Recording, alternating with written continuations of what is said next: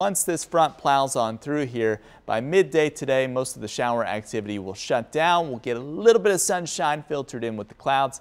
High pressure takes the wheel on Wednesday. Wednesday night, though, heavy rain moves in here. Little trough of low pressure starts us out Thursday morning. Then the warm front comes in, and that adds some more rain into the mix as we get into the afternoon hours, followed up by the cold front, which could give us some showers and thunderstorms on Friday. That just simply means a lot of rain coming our way. Good soaking, which will help us out if you're an allergy sufferer. This should kick down some of the pollen going into the weekend, looking at about one to two inches across the area. Could see some localized heavier pockets. Over uh, today, though, showers before midday, mostly cloudy skies, temperatures in the 60s, 64 in Columbia, 61 at the Inner Harbor, 59 in Essex. Sniffle and sneeze, it is down today, courtesy of the clouds and a few showers this morning. Back up Wednesday and then down again on Thursday once that front comes on through with some of that heavy rainfall. Seven day forecast, you'll like this. If you like the warmth, shorts and t-shirt weather, 70 on Thursday, near 80 on Friday. Weekend looks dry with highs in the 40s and 50s.